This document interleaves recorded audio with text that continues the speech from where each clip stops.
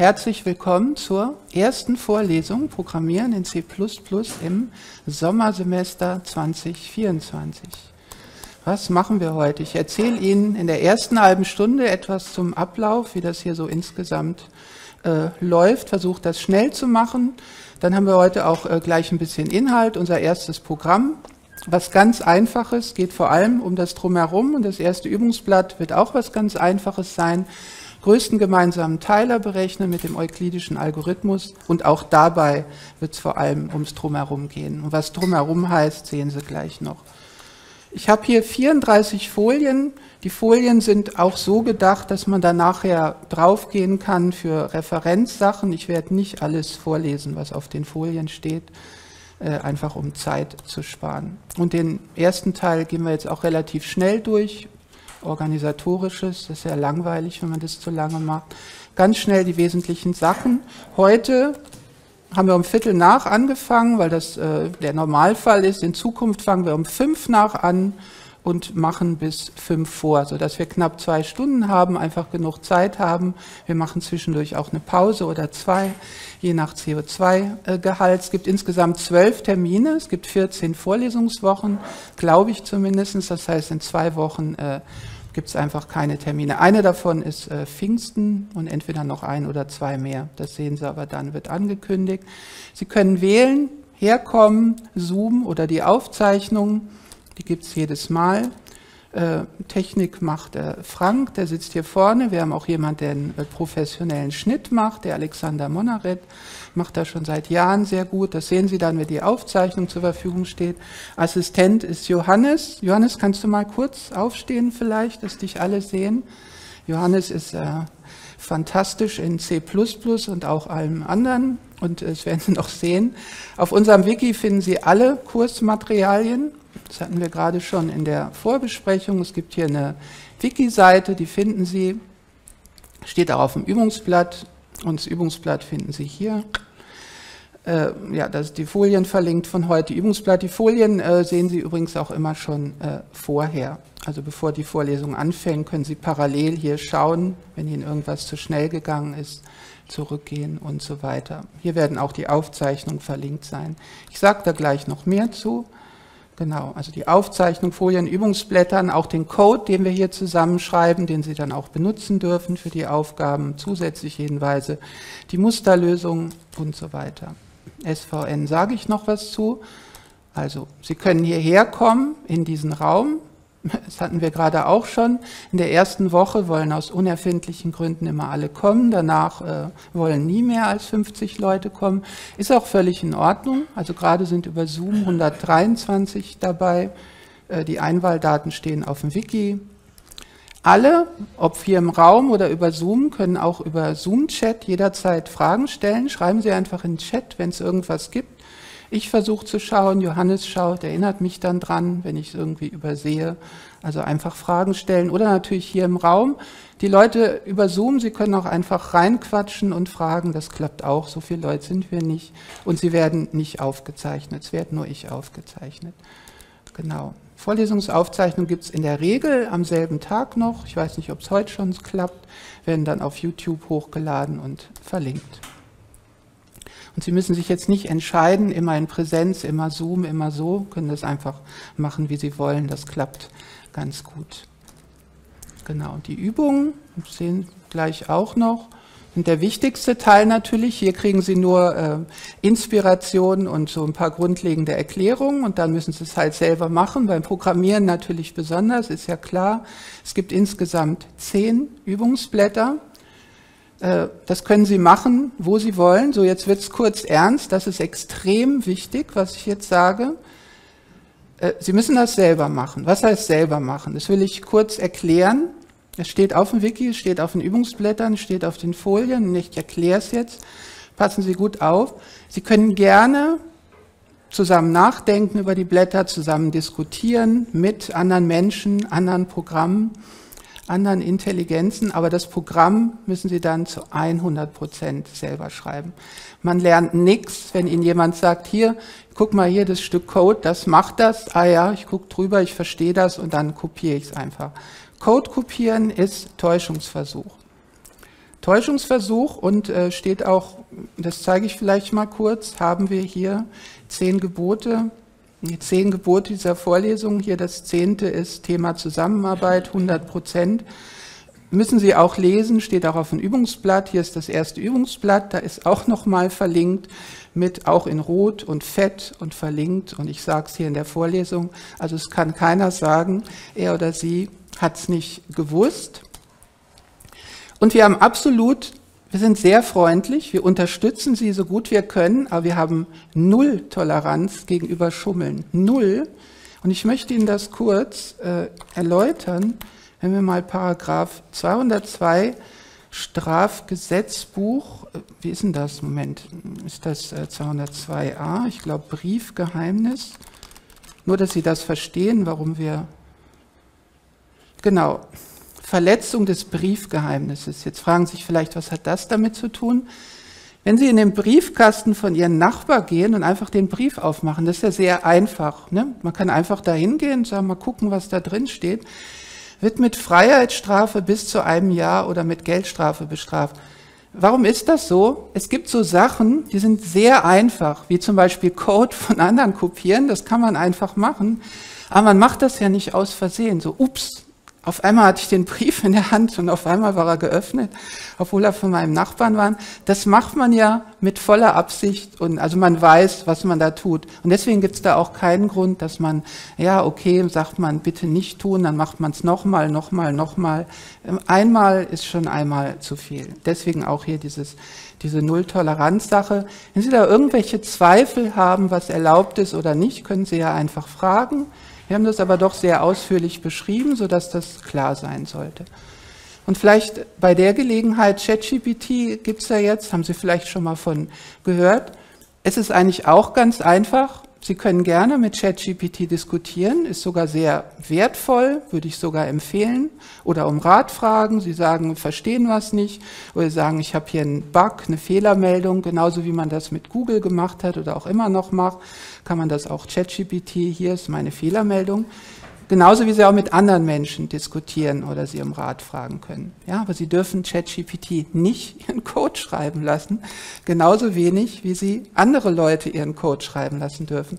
Das lernen Sie einfach nichts. Es ist ja eigentlich klar. Könnte man auch selber drauf kommen. Sie denken jetzt, ja, ja, das merken die doch nie. Wir machen das schon so lange. Es gibt so viele subtile Hinweise, anhand derer wir merken, dass Code nicht von Ihnen geschrieben ist. Es ist möglich, das so zu machen, dass wir das nicht merken. Aber ich sage Ihnen aus Erfahrung, so zu schummeln, dass wir es nicht merken, ist schwieriger als die Aufgabe zu lösen. Definitiv. Also die Energie lieber in die äh, Aufgabe investieren. Warum sage ich das? Es gibt doch, ich würde mal schätzen, 20 Prozent der Leute, die das machen. Also es sind schon richtig viele. Wenn man da keine Maßnahmen ergreift, dann denken sich einfach alle, ja, merken die ja eh nicht oder die kontrollieren es eh nicht. Und es ist schon auch ein Thema, äh, ne, wir haben ja Tutoren, die ihnen Feedback geben, die ihnen helfen wollen, gerade beim Programmieren wichtig. Und wenn wir dann irgendwie Dieselben Abgaben werden dann von zwei äh, Tutoren oder Tutorinnen mühevoll korrigiert und es ist dann einfach dasselbe. Das ist ja Energieverschwendung, das ist äh, nicht in Ordnung. Gut, das habe ich jetzt gesagt. Ich hoffe, es ist angekommen. Wenn Sie da irgendwelche Zweifel haben, sich nicht sicher sind, vielleicht eine kurze Sache, einen Aspekt, der hier genauer beschrieben ist werden Sie vielleicht beim Machen noch genauer sehen. Was natürlich passiert ist, dass Sie ChatGPT oder auch Stack Overflow oder solche Seiten benutzen. Sie haben einen Bug, eine Fehlermeldung und dann sagt ChatGPT, du hast das Semikolon vergessen oder die öffnende Klammer und jetzt ist hier der Vorschlag für die richtige Zeile und jetzt schreiben Sie die öffnende Klammer hin. Dann haben Sie ja auch Code übernommen, ja, von ChatGPT, nämlich die öffnende Klammer oder irgend so Konstrukt, was Sie falsch gemacht haben. Das ist natürlich in Ordnung, ja, so kleine Stücke oder irgendwas, wo Sie halt die Syntax falsch hatten, ja, steht auch hier. Also ein Bugfix, der einzelne Zeichen korrigiert oder sowas relativ Lokales. Aber wenn dann ChatGPT kommt, ja, nee, das ist falsch, hier ist das richtige Programm, 17 Zeichen, Zahlen und Sie kopieren die einfach, das ist nicht okay. So, jetzt geht es aber weiter. Es gibt am Ende ein Projekt und Sie fragen einfach, wenn es irgendwelche Fragen gibt, hier oder im Chat. Projekt am Ende der Veranstaltung. Es gibt so die Übungsblätter, das sind immer so kleine Portionen, am Anfang sehr klein und sehr einfach, wird natürlich langsam anspruchsvoller. Am Ende gibt es das ein bisschen was Größeres, nennen wir das Projekt. Es hat so einen Umfang von etwa vier Übungsblätter, weniger Vorgaben dann, dann sollten Sie schon in der Lage sein, so alleine was Größeres zu machen. Machen wir extra so, dass es schon zwei Wochen vor Vorlesungsende anfängt.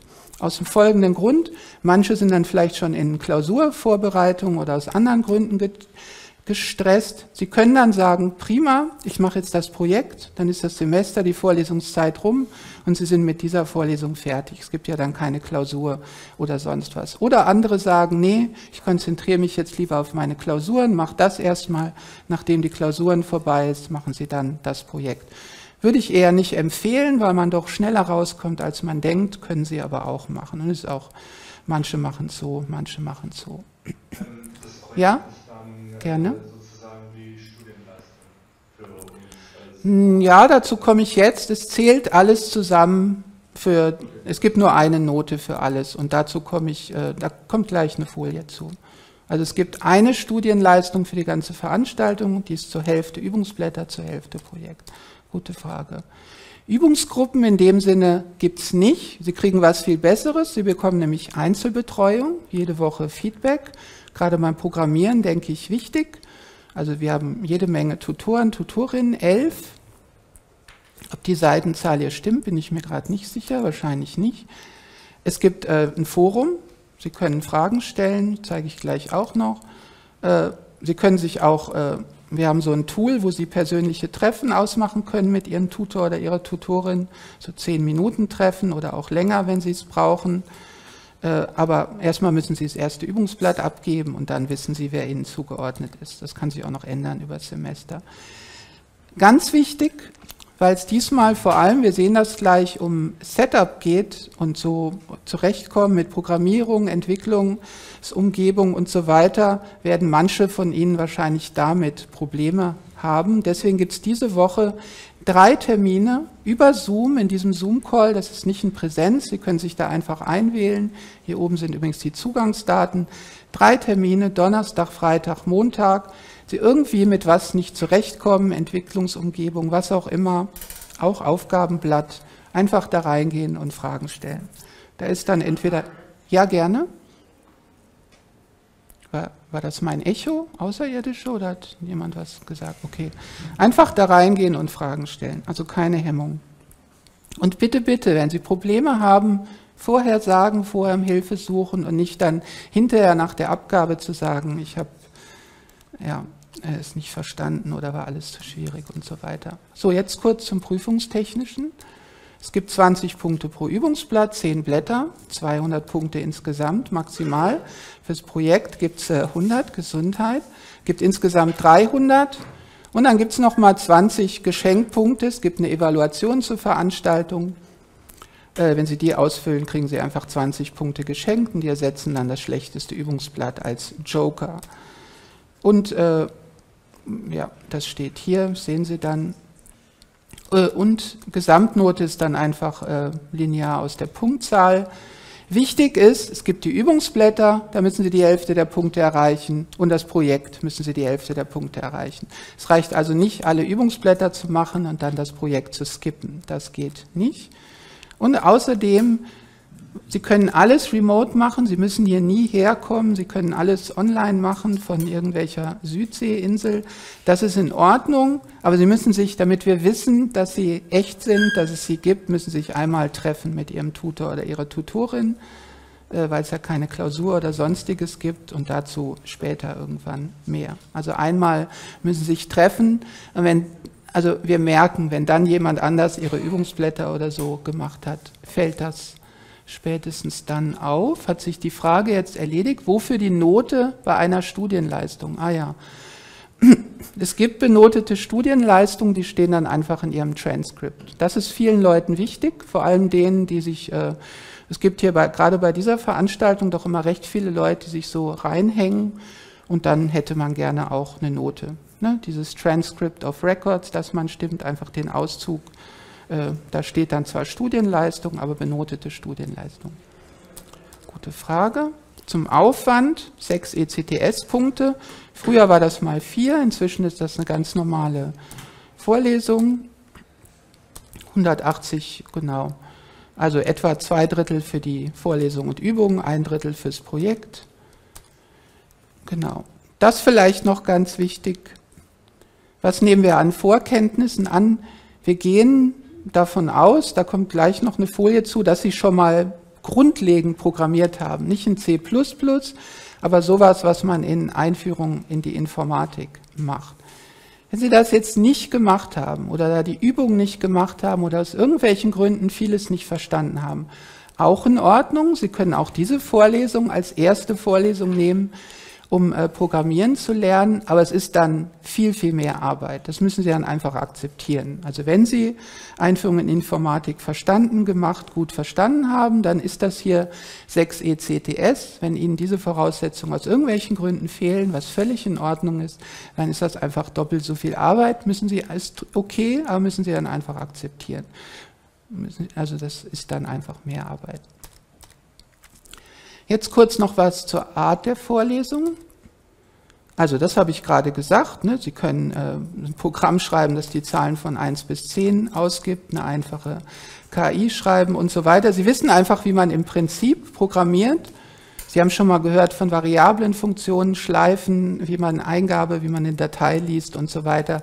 So im Prinzip haben Sie das schon mal gehört. Sie sind jetzt vielleicht noch nicht sehr geübt. Wie gesagt, wenn nicht, können Sie trotzdem mitmachen, ist halt mehr Arbeit. Ja, gerne. Äh? Nochmal bitte. Für welches, äh, für welches Semester wäre das? Für welches? Das ist eine Zweitsemesterveranstaltung, wobei für Embedded Systems, ist hier Embedded Systems Engineering im Raum? Ist für Sie viertes oder auch zweites? Genau. Also wir haben hier überwiegend Informatiker und drinnen, für die ist es eine Zweitsemesterveranstaltung, manche hören es aber auch da erst im vierten, dann haben wir Embedded Systems Engineering, die haben es im vierten Semester und dann haben wir aber auch Leute aus der Physik. Physik hier, gibt es jemand? Super. Mathematik? Haben wir ah, keine Mathematiker diesmal. Im Zoom vielleicht? Genau, also in verschiedenen Semestern, aber es ist eine Grundveranstaltung. Sie lernen hier vor allem, das ist ja jetzt nur eine Vorlesung, Sie werden das schnell mitbekommen, der, äh, die Breite, das Spektrum der, was die Leute schon können, ist enorm weit. Hier gibt es Leute, die machen das schon, vielleicht sogar C++ seit zehn Jahren. Andere haben gerade erst angefangen mit dem Programmieren. Das ist völlig in Ordnung. Dann ist natürlich für manche relativ einfach, für andere schwieriger, aber es ist schon für die breite Masse gedacht. Aber wir können deswegen hier in einer Vorlesung, in einem Semester wirklich nur die Basics machen, aber die Basics, die sollen Sie richtig gut verstehen. Das ist das Konzept dieser Veranstaltung, die Basics, aber die sitzen dann. Ich habe noch eine eigene Folie dazu. Objektorientiertes Programmieren kommen wir zu. So drumherum Sachen, Struktur, Namen, Dokumentation, dass man einfach so Programmieren ordentlich lernt. Und Standardtools, Testen, Style-Checking, äh, Continuous Integration, erkläre ich gleich alles noch, Repository. Genau, es gibt immer die äh, unglaublich wichtige Grundsatzdiskussion, warum wir SVN und nicht Git verwenden. Dazu gibt es extra, habe ich das hier, eine Post auf dem Forum. Können Sie auch gerne was zu schreiben, wenn Sie nicht einverstanden sind. Sie sollten übrigens dieses Forum hier unter Offizielles unbedingt subscriben, damit Sie da Nachrichten bekommen. Also es ist verpflichtend. Sie können nicht sagen, habe ich nicht gesehen. Äh, können Sie schon, aber äh, hat dann, also wir setzen einfach voraus, dass Sie das sehen. Hier ist, warum wir SVN statt Git verwenden, erkläre ich jetzt nicht. Können Sie ja durchlesen, es erklärt es, glaube ich, ziemlich gut. Also es gibt Gründe und ja, wir wissen, was Git ist. Wir nutzen es auch selber. Nochmal kurz zu den Basics. Sie sollen C, C++ von Grund auf lernen. Ja? Und wir fangen bewusst super low level an. Eigentlich ist die ganze Vorlesung relativ low level. Sie sehen das gleich. Wir benutzen Linux.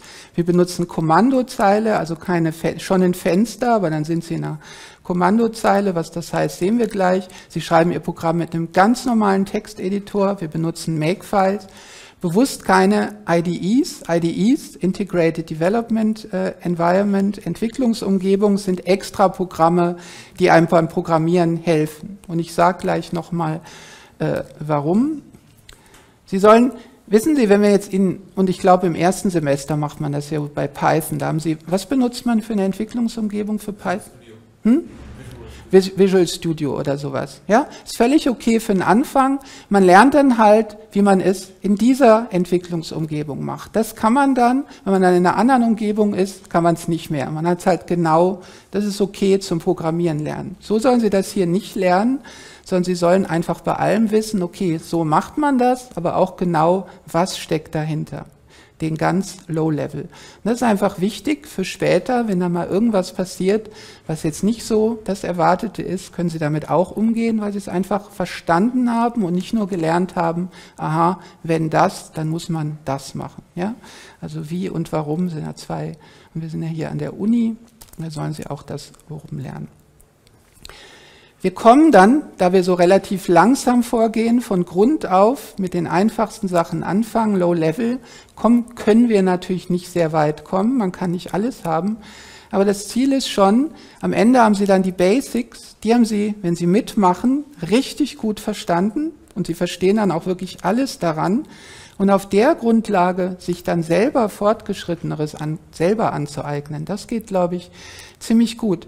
Im Gegensatz dazu, das wissen wir aus Erfahrung, Leute, die sich selber Programmieren beigebracht haben, nichts dagegen zu sagen, aber man entwickelt dann oft viele schlechte Angewohnheiten, die teilweise schwer zu verlernen sind.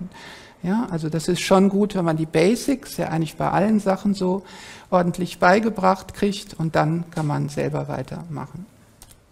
Genau.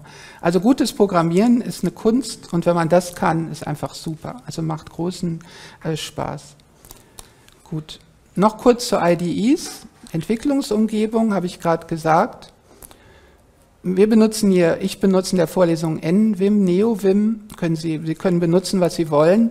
Man muss sagen, jeder vernünftige Editor heutzutage hat auch schon so grundlegende Entwicklungsumgebungsfeatures, wie zum Beispiel Syntax-Highlighting. Sehen wir gleich, wenn wir Code schreiben, dass dann Konstrukte der Sprache eine andere Farbe haben und so, sonst kann man ja nicht ordentlich programmieren. Das hat aber jeder Editor oder dass man Sachen vervollständigt kriegt und so weiter.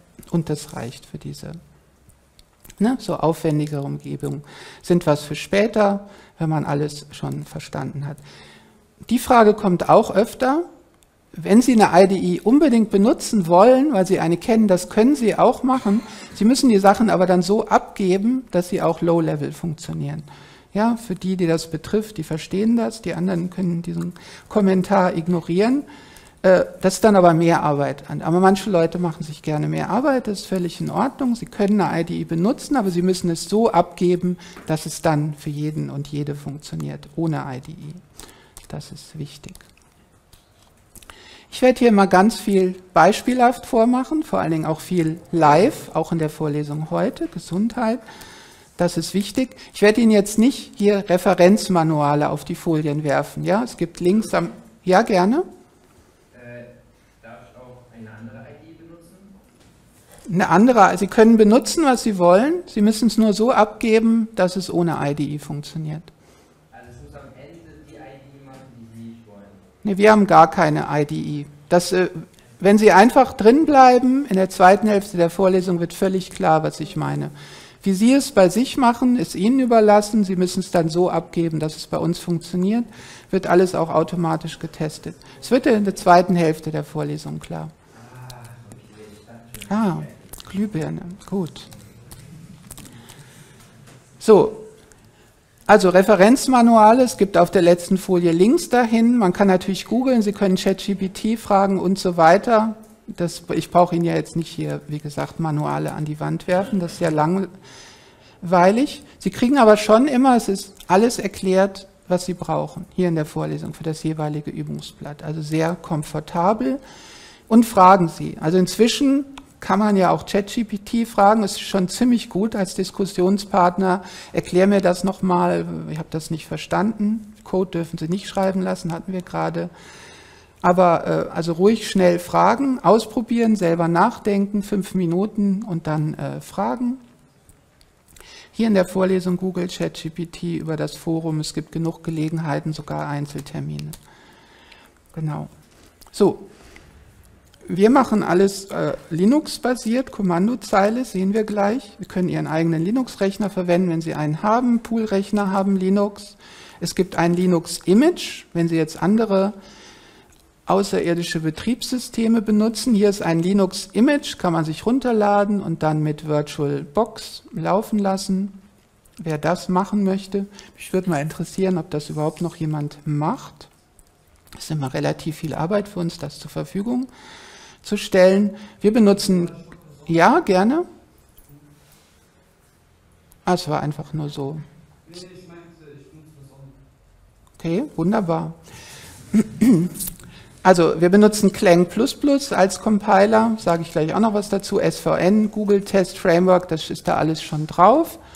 Äh, unter Windows inzwischen, früher hat man Cygwin benutzt, so archaische Sachen. Inzwischen gibt es das Windows Subsystem Linux. Das heißt, jedes Windows, zumindest wenn man es aktiviert hat, hat auch quasi ein einfaches Linux drin. Damit kann man wirklich sehr gut arbeiten. Für alle Zwecke der Vorlesung ist das ein vollwertiges äh, Linux. Es gibt ein paar Sachen, die es nicht kann, aber ist für uns, glaube ich, nicht relevant. Wer macOS benutzt, ist selber schuld. Aber also wir versuchen Ihnen auch da zu helfen. macOS hat auch ein quasi Linux, aber doch viele äh, Abweichungen. Aber wir, ja, wir versuchen Ihnen da auch zu helfen. Wir versuchen allen zu helfen, die sich ehrlich Mühe geben. So, das war der äh, organisatorische Teil. Gut in der Zeit. Gibt es dazu irgendwelche Fragen? Kann man jetzt schon fragen zwischendurch? Dann würde ich sagen, fangen wir doch gleich an mit einem Programm, vielleicht so eine Viertelstunde und dann machen wir eine Pause. Genau, CO2-Gehalt ist bei 2000 ppm, liegt noch unterhalb den des Eozäns, da waren es 4000, aber da gab es noch keine Menschen, glaube ich. Weiß man nicht so genau. So. Es kommt heute nicht auf das Programm an, auch fürs Übungsblatt, das ist äh, Pipi. Es kommt vor allem drauf ums, aufs Drumherum an. Und passen Sie gut auf, in dem, was ich vormache, gibt es immer jede Menge Probleme, die werden Sie dann auch haben, wenn Sie es äh, Übungsblatt machen. Das ist, glaube ich, eine sehr gute Art zu lernen, anderen Leuten zuzugucken, beziehungsweise wir machen das ja zusammen. Also Sie sind mitverantwortlich, dass das hier funktioniert und kompiliert und das macht, was es soll. Genau, und man sieht dann viele Fehler, die man dann selber nachher auch macht. Und wenn man die dann sieht, erinnert man sich, ah, das musste man machen. Also, Programm super einfach, ist eine gegebene Zahl prim. Ich gebe eine Zahl, das Programm soll sagen, ist eine Primzahl oder nicht. Ja, interessant. Interessant. Immer. Jedes Publikum hat so seine eigene Vibes, jedes Semester. Genau. Ich werde jetzt nicht, keine Mathe-Vorlesung, den Algorithmus erklären. Wir probieren einfach für, äh, wenn es öfter kommt, müssen wir aber einfach äh, muten. Johannes, kannst ja mal gucken, wo, das, wo der Sound herkommt. Genau. Aber es äh, sorgt für allgemeine Erheiterung. Wir probieren einfach alle Zahlen von 2 bis Wurzel n aus, ob sie Teiler von n sind. Ja? Warum nicht alle Zahlen von 1 bis n? Naja, wenn es einen Teiler gibt, zum Beispiel 42, gibt es einen Teiler 21, der ist größer als die Wurzel. Ja, die Wurzel ist ungefähr liegt zwischen 6 und 7 von 42. 21 ist ein Teiler, der ist größer als die Wurzel, aber dann gibt es ja auch den Komplementärteiler 2. Also 21 teilt 42, 2 teilt auch 42. Also ich muss nur, ich muss ja nur einen Teiler finden, um zu sagen, es ist keine Primzahl. Also das machen wir. Wir gehen einfach alle Zahlen von 2 bis Wurzel n durch und schauen, sind das Teilen die n und wenn ja, ist es äh, keine Primzahl, sonst ist es eine Primzahl.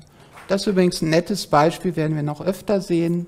Ein bisschen Mathematik nachdenken ist äh, äh, für Effizienz und guten Code natürlich wahnsinnig wichtig. Also so spielen äh, Mathematik und Programmieren sehr schön zusammen. Das ist ein schönes Beispiel dafür. So, wir schreiben jetzt ein Programm.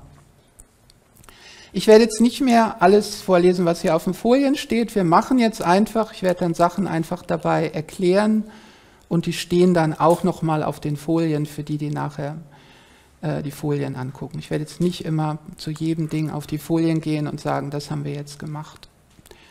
Wir machen das so, das sind jetzt einfach, wir sind hier auf dem Rechner bei uns, da drüben, Tura heißt der, wir sind hier in einem Verzeichnis, das ist jetzt einfach eine ganz normale Konsole. Wer das noch nie gesehen hat, lernen Sie in der Vorlesung.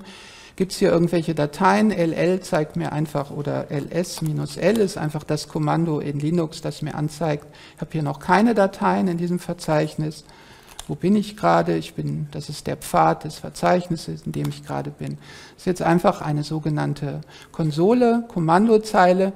Ich habe dasselbe hier nochmal. Warum habe ich zwei? Links werde ich immer Dateien, Textdateien öffnen, indem wir unsere Programme schreiben. Rechts führen wir die dann aus. Aus Fontgründen, wir haben das über Jahrhunderte hier genau kalibriert, das ist jetzt ein Font größer, dann kann man das, glaube ich, ganz gut äh, sehen über Zoom und auf allen möglichen Geräten. Programmiervideos auf YouTube sind ja relativ populär inzwischen, aber es gibt da doch Leute, die da irgendwie mit drei Font programmieren, ist dann etwas schwer zu folgen. Das ist, glaube ich, aber deswegen überlappt sich das hier etwas. Wir fangen jetzt einfach mal an. Ich nenne mein Programm gleich äh, Prime .cpp ist jetzt einfach ein C++-Programm. Ich schreibe jetzt mal äh, hier eine Copyright-Notice oben hin, das können Sie sich auch angewöhnen. Äh, und jetzt schreiben wir einfach mal ein erstes Programm. Und ich, ich erkläre jetzt noch nicht so viel, sondern wir machen es einfach. Was war das jetzt? Merkwürdig. Das ist jetzt einfach die Main-Funktion und die Main-Funktion wird ausgeführt, wenn man muss hier mit dem Keyboard gerade noch zurechtkommen, wenn man das Programm aufruft von außen. So, also erstmal zum Grundlegenden. Ein Programm ist eine ganz normale Textdatei. In irgendeinem Texteditor, Sie könnten das auch in Word schreiben, ist natürlich Quatsch. Irgendein Editor schreibt man eine Datei. Man kann dafür irgendeinen Texteditor verwenden. Ich benutze NeoVim, NVim, ja, es gibt auch Vim. Vim ist das äh, ursprüngliche. Vim sieht genauso aus. Sie können mit G-Edit oder was weiß ich, Sie können einfach ein Programm, mit dem man eine Textdatei. Ein Programm ist einfach eine Textdatei, also ganz wichtig. Das habe ich noch nicht hochgeladen. Erinnern Sie mich dran, wenn ich das vergesse, so eine Konfigurationsdatei. Jeden Editor kann man auf 100 Arten konfigurieren, zum Beispiel, dass hier die Zeilennummern stehen, dass man hier ein bestimmtes Color Scheme hat. Sie sehen jetzt schon hier, dieser, das ist ein Kommentar, Slash Slash ist ein Kommentar, ist in blau. Int heißt Integer, das heißt, diese Funktion gibt ein Integer zurück, ist hier fett und grün. Das hat die Farbe, das ist das Color Scheme, von dem sprach ich gerade. Sowas kann man alles konfigurieren in jedem Editor. Meine Konfigurationsdatei stelle ich Ihnen gerne zur Verfügung. Genau. So, jetzt machen wir, schreiben wir mal ein erstes einfaches äh, Programm und schreiben wir mal, ich bin hier gerade noch ein bisschen durcheinander mit dem Tippen, print, äh, printf und nehmen wir mal, wir schreiben mal alles scheiße deine Ellie. Genau, so. Weiß nicht, ob das jeder kennt. So, wir schreiben einfach mal irgendwas auf die Konsole und jetzt wollen wir das gerne ausführen. Wie führt man ein Programm aus in C++? Das ist nur ein Text. Jetzt muss ich das erstmal übersetzen in Maschinensprache. Dazu gibt es in der letzten Vorlesung, sage ich noch was, nehmen wir jetzt einfach erstmal so hin und lasse es dann laufen. Das heißt, ich muss jetzt hier einen Compiler bemühen. Wir benutzen Clang++.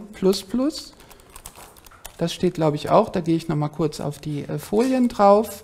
Clang++ äh, ruft man einfach auf mit dem Programm, das man übersetzen möchte. Wir benutzen, ich benutze 14.06, auf der vom Linux-Image ist 14.00, das ist einfach der Standard äh, Clang von äh, Ubuntu 22. Sie können andere Versionen benutzen, gibt dann oder auch ja, weniger, höher, dann haben Sie aber vielleicht Fehler, die wir ja nicht kriegen. Also benutzen Sie, man kann auf jedem Betriebssystem jede Version äh, praktisch installieren. Schauen Sie, dass Sie auch Version 14 haben, damit wir hier auf demselben Stand sind. Genau. So. Jetzt kann ich das mal hier übersetzen und ich mache jetzt erstmal einfach prime cpp. Das heißt einfach übersetze mir diese Datei, die ich hier links geschrieben habe, in Maschinencode. Genau. So. Jetzt fängt schon gut an. Es sagt printf kennt er nicht. Ich werde Ihnen in der ersten Vorlesung hier so ein paar Sachen erstmal rein syntaktisch erklären. In der nächsten Vorlesung wird das dann klar. Ich muss sagen, printf, diese Funktion, die was auf die Konsole schreibt, die ist irgendwo äh, deklariert und zwar hier. Die eckigen Klammern heißt, suche diese Bibliothek, Modul, was immer in, irgendwo auf dem System. Du weißt schon wo. Das muss man einfach hinschreiben, was damit genau auf sich hat, erkläre ich später noch, kommt noch. So, jetzt geht's. Jetzt haben wir es kompiliert, es ist nichts passiert, aber wir sehen, wenn wir uns die Dateien anschauen, haben wir jetzt hier eine Datei a.out. Das ist jetzt das Programm in Maschinencode. Wir können uns das auch anschauen, eine 11-Datei. Sie sehen, alles soweit in Ordnung. Genau, und die können wir jetzt ausführen. Punkt im aktuellen Verzeichnis. Wenn ich jetzt a.out mache, findet er die nicht. Ich muss sagen, aktuelles Verzeichnis slash a.out. Wunderbar, alles scheiße. Deine Ellie hat funktioniert. Unser erstes Programm. A.out, warum? Naja, ist halt eine Datei und A ist halt der erste Buchstabe, nennt man sie halt A.out. So wollen wir das nicht machen. Ich kann, ich lösche die jetzt mal wieder, jetzt habe ich nur das. Jetzt kompiliere ich es nochmal und sage, nenn doch die, gib doch der Ausgabedatei bitte einen ordentlichen Namen. Und wir nennen sie einfach so, wie wir das äh, Programm hier auch genannt haben vom Basisnamen. Jetzt habe ich genau dasselbe und jetzt heißt es Prime. Macht zwar noch nichts mit Prime, aber kann ich jetzt auch ausführen. Kommt genau dasselbe. Wunderbar, unser erstes kleines Programm. Andere Compiler, LLVM ist kein Compiler, sondern LLVM ist das äh, Projekt, das Clang++ macht. Und GCC oder G++ sollten Sie nicht benutzen. Benutzen Sie, also Sie können benutzen, was Sie wollen, aber Sie kriegen dann halt äh, Abweichungen, Fehlermeldungen, Probleme, die wir hier vielleicht nicht haben.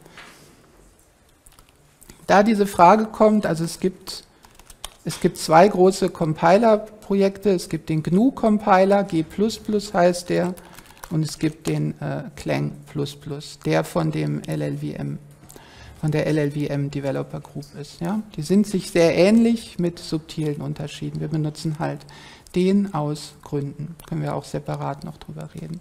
Also das kann ich ausführen. Wie geht es weiter?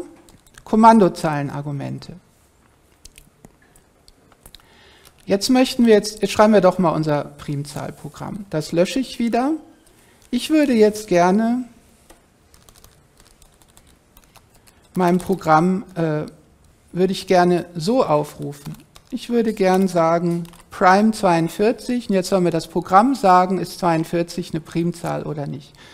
Praktisch jedes Programm, das wir schreiben werden, wird sowas haben. Man muss dem ja irgendwas mitgeben, mit dem es dann irgendwas machen soll. Ja? Praktisch jede jedes Programm macht das. So, wie funktioniert das? Jetzt kommt gleich schon was, das ist relativ kompliziert in C++, aber rein syntaktisch ist es einfach.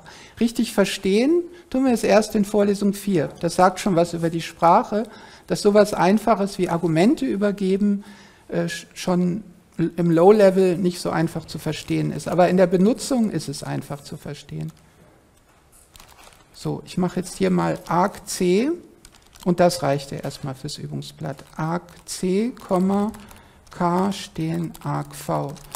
Das ist jetzt einfach, wie viele Argumente bekomme ich mit? Das ist einfach eine Zahl, int integer, und das sind die Argumente. Stern, Stern, wer es nicht schon weiß, kann man jetzt nicht verstehen. Und jetzt mache ich einfach mal, wenn wie viele Argumente habe ich, wenn ich so aufrufe? Tatsächlich habe ich zwei. Das hier zählt als nulltes Argument, das als erstes. Wir gewöhnen uns gleich an, dass wenn wir ein Programm schreiben und man, und ich schreibe mal hier drüber einen äh, Kommentar, Pass äh, Command Line Argument, so nennt man die. Wir schreiben übrigens Kommentare immer auf Englisch grundlegend, weil die Sprache ist auch auf Englisch. So, wenn ich das nicht genau aufrufe mit zwei, dann sage ich doch mal netterweise, wie man das aufruft. Dann sage ich, du solltest das Programm so aufrufen. Das gewöhnen wir uns gleich an. Also einfach hier mit einer Zahl, genau, und dann äh, verlasse ich das Programm. Beziehungsweise das Programm kann ich einfach mit 1 verlassen. Die Main-Funktion gibt auch einen Wert zurück, deswegen hier int, und hier gebe ich den Wert 1 zurück, das erkläre ich Ihnen auch gleich kurz wo, wo spielt die 1 eine Rolle? Brauchen wir jetzt nicht, aber das ist, glaube ich, ganz interessant. Jetzt habe ich ein Programm geschrieben, das einfach schaut, habe ich das mit zwei Argumenten aufgerufen wie hier, dann alles klar, dann geht es weiter. Wenn nicht, if, kriege ich diese Usage-Info. Also jetzt äh, muss ich natürlich das erstmal mal neu kompilieren. Jetzt rufe ich es nochmal auf, kommt nichts. Ich es ohne Argumente aufrufe, kommt das. Ja? So habe ich es, oder wenn ich es hier mit mehreren Argumenten aufrufe, kommt auch das. Das ist also schon mal korrekt. Return 1, wie sehe ich das? Der Rückgabewert vom Programm, wenn ich was aus einer Konsole aufrufe, wie zum Beispiel hier, den Rückgabewert kriege ich, der steht in der Variablen Dollar. Dollar sind Shell-Variablen hier von dieser Konsolenprogramm. Dollar Fragezeichen gibt mir den Return Code. Ja? 1. Hätte ich jetzt hier hingeschrieben 1, 2, 3. Nur mal zum Kontrolle, macht das hier.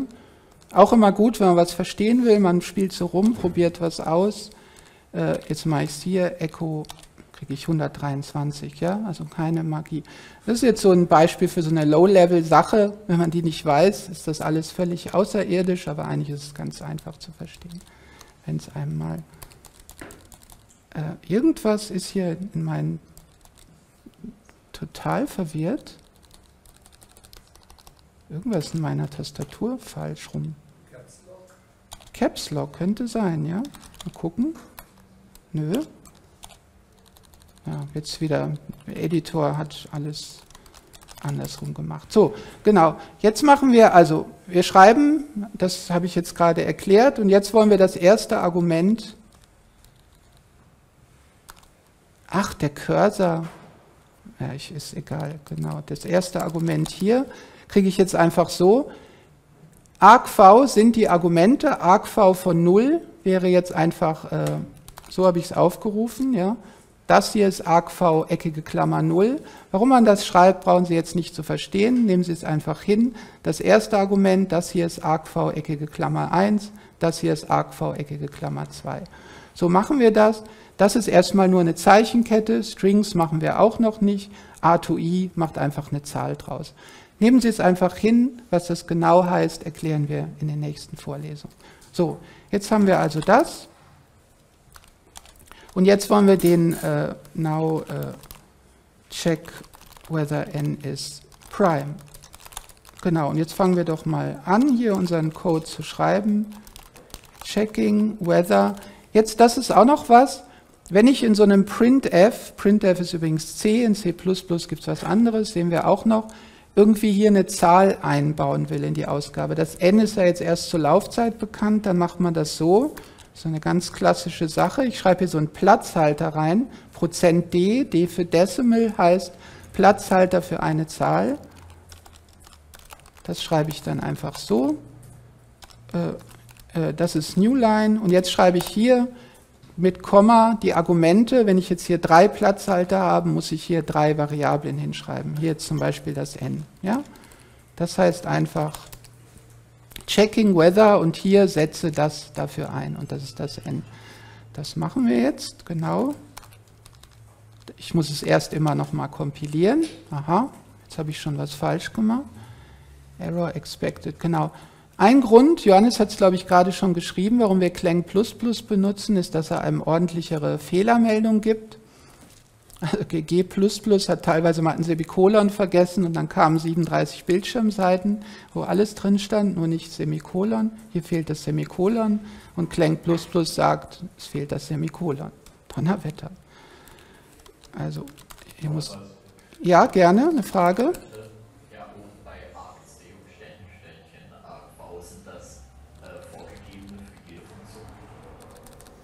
Genau, wie gesagt, kann man jetzt noch nicht verstehen. Das sind die Argumente der Funktion. Also wenn hier, wenn ich das aufrufe, so wie ich das mache, dann wird das hier aufgerufen, die Main-Funktion mit den Argumenten argc 1, 2, 3, 4 und argv hat dann diese vier Strings. Was damit genau auf sich hat, können wir jetzt noch nicht verstehen. Erkläre ich in einer der späteren Vorlesungen, kommt aber müssen Sie jetzt einfach so hinnehmen. Und jetzt, wir müssen es natürlich immer neu kompilieren, klar. Ich gehe übrigens mit Pfeiltaste nach oben, das hat auch jede Konsole, jede Shell. Pfeiltaste nach oben kriege ich die Kommandos, die ich schon getippt habe, sehr praktisch. Also wenn ich jetzt hier nach oben gehe, mache ich einfach so lang, bis ich mein Clang finde. Was ich auch machen kann, Steuerung R und dann tippe ich was, dann suche ich das einfach so. A2i, das ist jetzt eine Funktion, die ist aus der Standardbibliothek. Das nehmen wir jetzt auch einfach hin.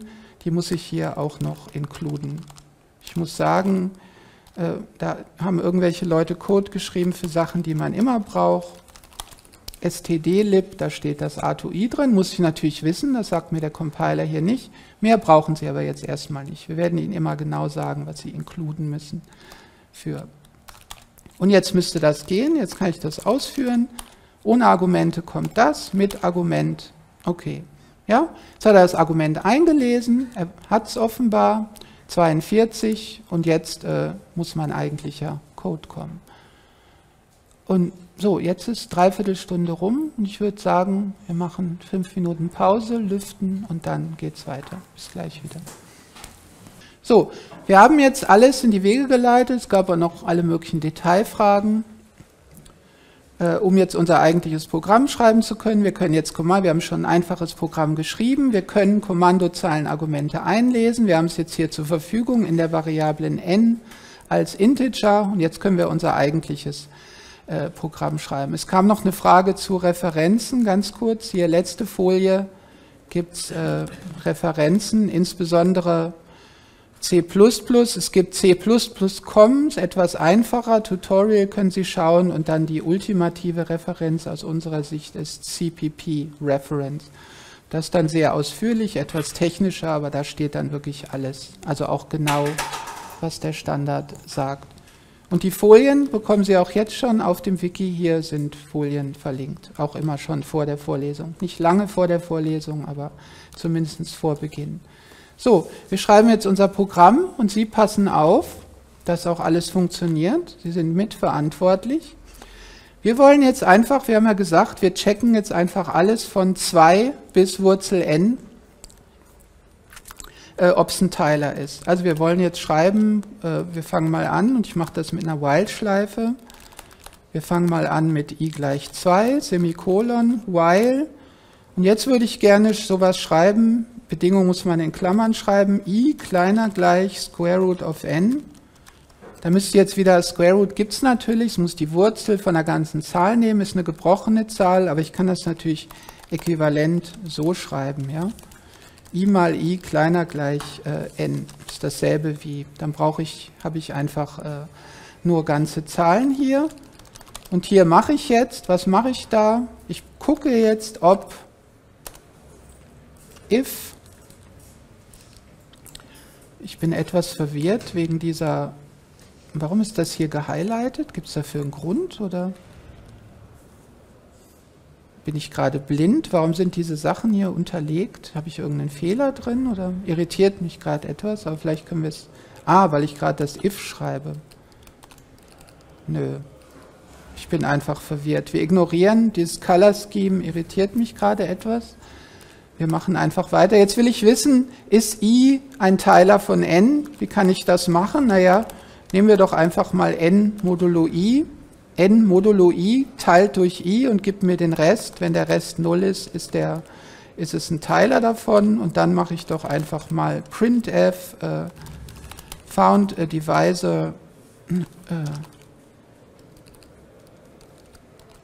Also wir haben einen Teiler gefunden, den nenne ich mal hier Prozent %d of äh, von der Zahl äh, not prime. Schreiben wir es doch einfach mal so. Und jetzt geben wir, was ist der Divisor i und das war n. Schauen wir mal, was dann passiert.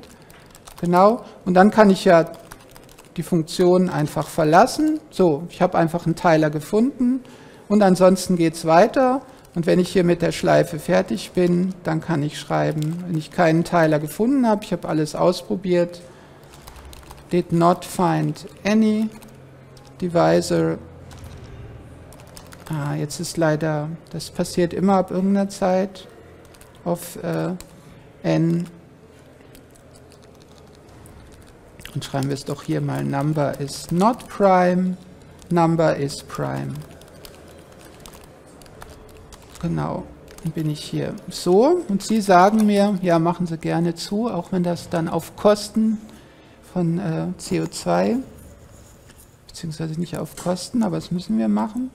So, und Sie passen bitte genau auf und sagen mir, ob irgendwelche Fehler drin sind. Wir haben jetzt also einfach alle durchprobiert in so einer Schleife und wir kompilieren es jetzt mal, ist kompiliert und jetzt lassen wir es laufen mit Prime 42. Checking whether 42 ist Prime, geht jetzt hier die von äh, 2 bis Wurzel n durch und hat 2 gefunden. Number is not prime. Soweit korrekt. Nehmen wir mal eine tatsächliche Primzahl. Hm. Gut, 43 ist auch eine ziemlich große Zahl, das heißt immer C++ effizient, dauert aus irgendeinem Grund sehr lange. Ich inkrementiere nicht, sagt da jemand aus dem Off. Wo würden Sie denn inkrementieren? am Ende der While-Schleife. Ja, am Ende der While-Schleife. Ja, ich fange hier mit 2 an, teste, ob 2 ein Teiler ist und das mache ich so lange, bis i das Wurzel n nicht erreicht hat. Aber i bleibt immer gleich. Das heißt, hier wird das Computer beschweren sicher nicht. Aber es wäre schon gut, wenn ich hier das i erhöhe. I gleich i plus 1. Machen wir es doch mal, äh, ah, jetzt Entschuldigung, jetzt bin ich hier etwas durcheinander gekommen. Wir unterbrechen das mit Steuerung C. Ich kompiliere es nochmal. 43, jetzt hat es geklappt. Ja, jetzt ist er alle durchgegangen, did not find any divisor, number is prime. Das scheint zu klappen. Irritiert mich, wenn das jemand rausfinden kann, warum hier diese schließenden Klammern aus irgendeinem Grund sind die einfach so, als wäre was falsch. Ist doch total irritierend, oder? Im Chat schlägt da jemand vor, war das die letzte Suche oder so, die gehandelt ist? Ah, genial. Danke. Super. Genau. Ja, ja, genau. Super, super. Jetzt steht da unten diese rote Fehlermeldung. Genau. Also für Leute, die so ein bisschen eine Meise haben, ist sowas sehr irritierend. Wie kriege ich das jetzt weg? Gar nicht. Okay. Ah ja, so. Wunderbar. Das ist i gleich i plus 1, erhöht den Wert der Variablen plus 1. Man kann dafür auch schreiben i plus plus. Ja, das macht genau das. Deswegen heißt C++ C++. Genau, i plus plus erhöhe i plus 1 oder plus plus i. In dem Fall hier dasselbe, weil ich mit dem Wert nichts mache. Der Unterschied ist, wenn ich das an eine Variable zuweise, kriege ich den Wert. Also wenn ich das hier machen würde, ich habe eine andere Variable, x gleich, ah, jetzt habe ich x gesucht, aha. So. so, wenn ich äh, das an eine andere Variable zuweise, das heißt erhöhe i plus 1 und jetzt ist die Frage, kriegt x den Wert von i vor oder nach der Erhöhung? Das ist plus plus i. Ja, plus plus i heißt, äh, es kriegt den Wert hm, danach. Genau. Ja, i um 1 erhöhen, aber das ist jetzt hier nicht wichtig. Genau, können Sie ja nachlesen. Das macht's, das funktioniert. Wir haben unser Programm funktioniert. Ja, wir haben es. Prime 42 funktioniert, Prime 43 funktioniert. So, jetzt kommt noch ein Schritt, der wichtig ist. Ich gehe mal wieder auf die Folien zurück, wenn ich die hier finde, wo wir gerade sind. Kompiliert haben wir, Kommandozeilenargumente haben wir gemacht. Wie gesagt, argv und argv1. Genau, Johannes kümmert sich um die Fragen im Chat, wunderbar. Jetzt kommt die zweite Version. Ich schreibe das jetzt in zwei Dateien. Ja, ganz am Anfang, ich weiß nicht, wie Sie die Einführung in die Programmierung gemacht haben, ist okay, man schreibt mal alles in eine Datei, man schreibt die Sachen in mehrere Dateien. Warum sehen wir jetzt? Ich mache jetzt erstmal was, was genau dasselbe macht und warum ich das mache, sehen Sie dann gleich, erkläre ich jetzt nicht. Ich würde jetzt gerne diese Funktion, die das eigentliche macht, den Primzahlcheck in eine eigene Datei schreiben und die Main-Funktion, die mein Programm ausführt, die Kommandozeilenargumente liest, in eine andere Datei. Deswegen schreibe ich jetzt hier mal Doppelpunkt SP, Split Screen. Ich öffne jetzt eine zweite Datei hier im Editor, so geht das in Vim oder NeoVim.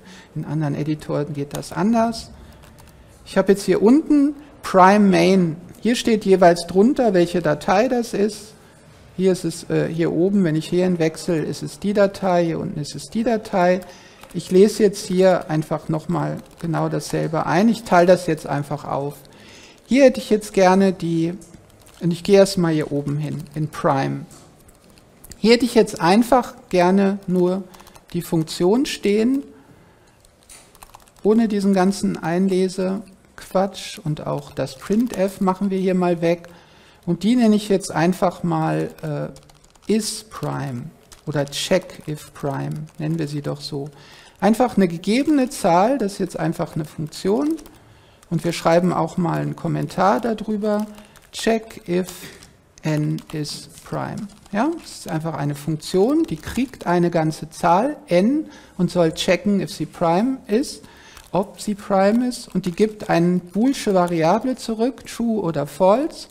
Und machen wir das doch mal, wir können den Code wiederverwenden. Hier habe ich jetzt einen Teiler gefunden, das heißt die Zahl ist äh, nicht prim und hier unten habe ich keinen Teiler gefunden, das heißt die Zahl ist prim. Genau, machen wir das doch mal so. Und dann, äh, das mache ich mal weg. Warum sehen wir gleich? Found Divisor of, das mache ich mal so. Ich habe es ein bisschen weniger Messages gemacht, da kommen gleich auch noch zu. Das ist jetzt genau dasselbe wie vorher. Ich habe es jetzt nur eine eigene Funktion geschrieben. Eine Funktion, die einfach guckt, ob die gegebene Zahl Primis mit demselben Algorithmus. Wenn nein, gibt es voll zurück, wenn ja, gibt es true zurück. Jetzt gehe ich mal in mein Main-Programm und da brauche ich jetzt den Code natürlich nicht nochmal haben, sondern jetzt kann ich einfach hier das aufrufen. Jetzt mache ich es mal einfach so. Ich rufe jetzt die Funktion auf, if äh, check if prime n. Und jetzt je nachdem, wenn also die gibt mir true zurück, wenn es prime ist. Dann schreibe ich jetzt hier einfach printf, wie machen wir es? Äh, naja, machen wir einfach is prime. Schreiben wir es doch einfach so. Und sonst, also sehen jetzt hier auch schon ein paar grundlegende Konstrukte, so wie if, else.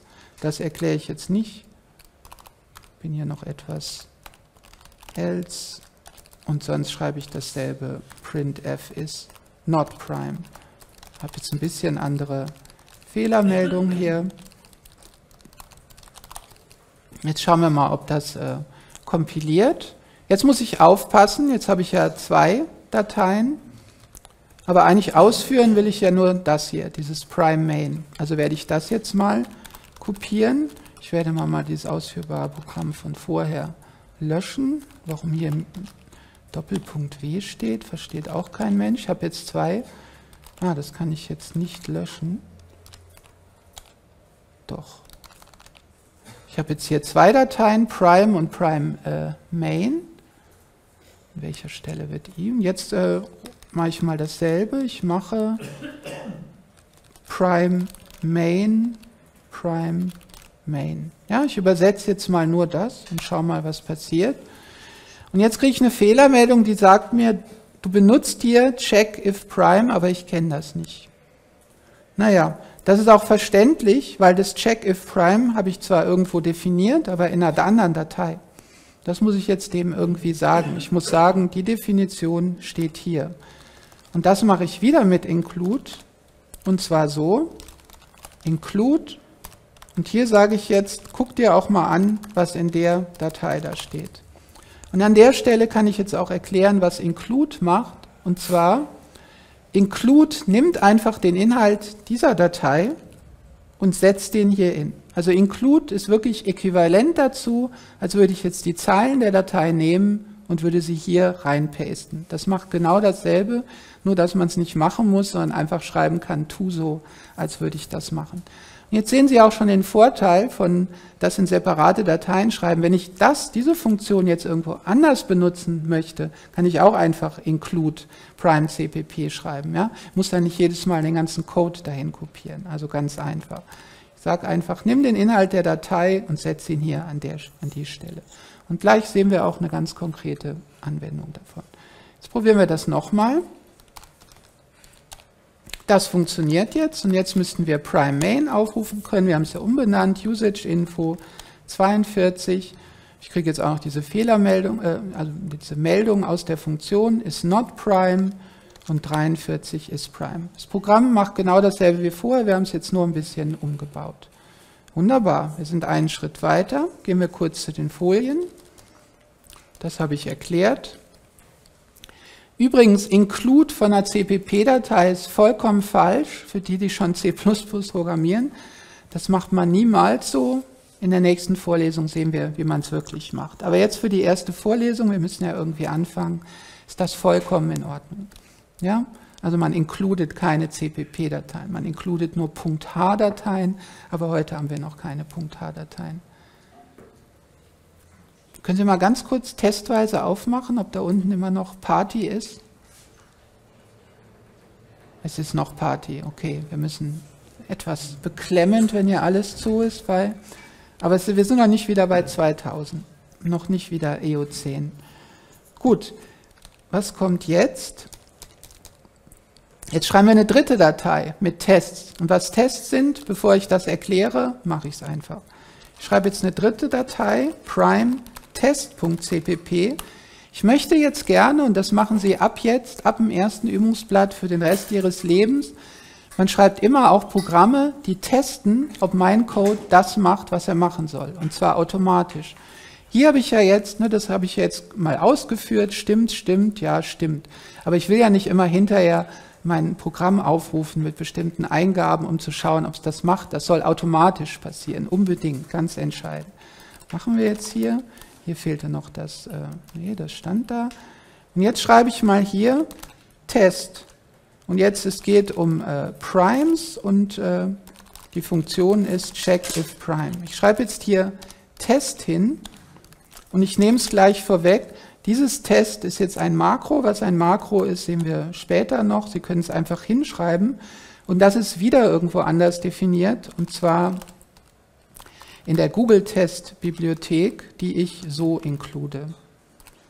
Was mit diesen ganzen Includes und den Details auf sich hat und was Punkt H heißt, sehen wir in der nächsten Vorlesung. Eine Sache kann ich jetzt schon kurz erklären. Eckige Klammern und das hier heißt, ich sage dir genau, wo du suchen sollst. Suche bitte im aktuellen Verzeichnis und nimm die Datei. Das heißt, das Punkt, das schreibt man in Anführungszeichen. Eckige Klammern heißt, diese Bibliothek steht irgendwo auf deinem System und du weißt schon so. Das ist einfach, damit so Sachen auf vielen Systemen funktionieren. Jedes System sollte wissen, wo Standardbibliotheken von CC++ stehen. Und das sagt einfach, such da, wo die halt bei dir stehen. Weil auf dem einen System stehen sie hier, auf dem anderen da. Wenn ich hier einen absoluten Pfad hinschreiben würde, würde es vielleicht bei mir klappen, bei jemand anders nicht. Ist es ruhiger geworden? Machen Sie doch nochmal auf. Ja, wunderbar. Können Sie den Schnöpsel da drunter? Geht das hinten auch? Also wenn hier ganz zu ist, ist kriegt man Genau, sonst müssen wir die da unten. So, und jetzt passen Sie auf. Das geht jetzt erstaunlich einfach, einen Test zu schreiben. Ich schreibe jetzt einfach sowas. Ich rufe jetzt mal auf, na fast, ist check prime 42 und da soll rauskommen false. Also das ist einfach ein Test. So, unsere Tests werden auch erstmal so einfach sein. Ruf das mal auf und check mal, ob da False rauskommt. Ja, 42 ist keine Primzahl. Also meine Aufrufe von der Kommandozeile. Und hier soll True rauskommen, weil das False ist. Das ist jetzt schon mein ganzer Test und Ihre ersten Tests werden genauso einfach sein. Testen ist so eine Welt für sich. Das wird dann natürlich komplizierter in Wirklichkeit, aber unsere Tests hier sind oft sehr einfach. Wahnsinnig nützlich, sehen Sie gleich noch. Jetzt kann ich den Test natürlich auch einfach übersetzen. Und jetzt wird es schon ein Tick komplizierter. Das ist ja einfach auch. Ich übersetze jetzt dieses Testprogramm. So, es fängt jetzt schon damit an, dass er ist-check prime nicht kennt. Was muss ich machen? Include, genau. Das sollte ich mal inkluden. Also kann er ja nicht wissen, weil es eine andere Datei. Und Sie sehen schon, dadurch, dass ich das eine eigene Datei geschrieben habe, kann ich das sowohl hier als auch in meinem Main-Programm als auch in meinem Testprogramm. Das sind ja jetzt zwei verschiedene ausführbare Programme. Use of undefined, okay. Was habe ich jetzt falsch gemacht? Ist Check ist check prime. Okay. Sie passen auf, oder? Check if prime. Sie müssen dazwischen schreien, wenn hier irgendwas nicht richtig ist. Check if prime habe ich das, glaube ich, genannt. Ah ja, genau. Also C, C++, das, was es damit auf sich hat, lernen Sie in der zweiten Vorlesung. Was man unbedingt lernen muss bei C, C++, wenn man diesen Zeichensalat kriegt, dass man schaut, wo muss ich hier drauf schauen. Wenn man ein bisschen Erfahrung hat, so viel Erfahrung braucht man hier nicht, dann sieht man hier Undefined Reference. Undefined Reference, das heißt, irgendwas, was dieses Test macht, kenne ich nicht. Aber das ist jetzt keine Compiler-Fehlermeldung, sondern eine Linker-Fehlermeldung. Die ganze nächste Vorlesung geht darüber zu verstehen, was ist ein Compiler, was ist ein Linker. Das ist dieser sogenannte Low-Level, den wir hier verstehen wollen. Das braucht man in Python nicht, weil Python ist eine interpretierte Sprache. Bei kompilierten Sprachen braucht man das. Jetzt erkläre ich Ihnen das nicht für die erste Vorlesung, einfach nur das Wie. Sie schreiben hinten dran minus L G-Test. Bitte diese Bibliothek dazu linken, was immer das heißt. Minus L steht für Minus, ist eine Kommandozeilenoption, L steht für Library, Bibliothek, G-Test die Bibliothek und unser Problem verschwindet. Jetzt kommt noch eine Sache, die können wir wieder verstehen. Hier ist keine Main-Funktion drin. Ich wollte eigentlich ein ausführbares Programm haben, das guckt, ob die Tests durchlaufen. Also, das muss ich jetzt hier noch machen. Und das steht auf den äh, Folien. Machen wir das doch mal. Genau, int main, mache ich mal hier dazu. Und zwar, das gehört einfach zu diesem Test-Framework. Lass mal alle Tests laufen und man muss es vorher noch initialisieren. Ich glaube hier diese ich glaube, das steht auch auf den Folien, genau. Diese Argumente hier brauche ich nicht. Auch das nehmen Sie es einfach hin. Das heißt einfach, was immer ich hier einen Test definiere mit diesem Test-Makro, Makro habe ich nicht erklärt, erkläre ich in der nächsten Vorlesung, schreiben Sie es einfach so für das aus. Und jetzt machen wir das. Jetzt haben wir ein ausführbares Programm. Ich jetzt hier hingehe, ich habe jetzt Prime Main, das war das, mit dem wir die ganze Zeit rumgespielt haben, Prime Test, das ist jetzt etwas größer, weil da auch so das Google Test Framework der Code drin ist. Und das kann ich jetzt auch ausführen. Und das sieht jetzt so aus. Das ist jetzt einfach ein Programm, das automatisch nachprüft, ob meine Funktion für 42 false gibt, für 43 true. Hier ist alles grün, meine Tests sind durchgelaufen. Und ich glaube, Sie kriegen jetzt schon ein Gefühl dafür, dass das eine ganz gute Idee ist, Tests zu schreiben. Eine unschöne Sache sehen wir hier, darum will ich mich kurz kümmern. Hier sind jetzt so Kommentare aus der Funktion, das will ich eigentlich nicht in meinem Test haben. Das lösen wir mal wie folgt, indem ich hier jetzt noch ein Argument mitgebe. Das äh, ist bool und das nenne ich mal verbose. Äh, verbose heißt, soll ich hier noch Kommentare dazwischen schreiben oder nicht? Ich mache es mal hier mit, mit Default-Argument. Wenn ich es nicht mit diesem Argument aufrufe, dann ist das standardmäßig äh, false. Und wenn ich jetzt hier äh, if, also wenn ich es aufgerufen habe mit verbose gleich true, dann werde ich das hier einfach mal äh, ausgeben und sonst nicht. Und bei meiner Main-Funktion rufe ich es doch mal mit true auf. Genau. Das heißt, wenn ich jetzt meine Main-Funktion ausführe, dann kriege ich diese Meldung und bei meinem Test nicht. Probieren wir es doch gerade mal aus. Wenn ich hier mein Prime Main mache, müsste das, habe ich hier das noch irgendwo? Okay, da, genau, hier wird das ausgegeben. Wenn ich jetzt meinen Test nochmal kompiliere, wo habe ich den hier und den Test laufen lasse, wird's, äh, das war Prime Main. Hier wird es jetzt nicht mehr ausgegeben. Wunderbar. Also Sie sehen, es ist zwar einfach, aber jetzt wird es schon ein bisschen komplizierter, einfach durch die Menge. Aber das Schöne ist, jetzt können wir doch hier einfach noch ein paar, na, jetzt muss ich es nicht mehr von Hand ausprobieren, sondern jetzt kann ich hier assert equal, was, was ist denn noch? Check if prime, ist 1 eine Primzahl? Ja? Wer ist dafür? Das wollen wir abstimmen? Oder Demokrat, ist 1 eine Primzahl? Nein, 1 ist keine Primzahl ist keine Primzahl. Ist 2 eine Primzahl? Was? 2? Ja oder nein? Ja. ja, ja, sehr gut. Aus dem Off kommt 2, genau. Ganz wichtig bei Tests, immer Randfälle prüfen. Wir prüfen jetzt mal nicht Null und negative Zahlen. steht auf dem Übungsblatt auch nochmal. Äh, unser ja, muss nichts dazu sagen. Es geht nur um natürliche Zahlen. Da kannst, sonst kannst du machen, was es will. So, da haben wir jetzt ja gar nicht dran gedacht. Und jetzt kann ich einfach mal das laufen lassen. Ich kompiliere es und lasse mal laufen und siehe da, für 1 stimmt es nicht. Haben wir einfach nicht dran gedacht. Ja? Sehen Sie, wofür Tests gut sind. Man schreibt die Tests, oft schreibt man sie sogar als erstes und dann sieht man, oh, mein Programm macht gar nicht das, was es soll. Wie können wir das, unten ist wieder Party, aber es geht noch, wie können wir das hier fixen, dass i gleich 1 keine Primzahl ist?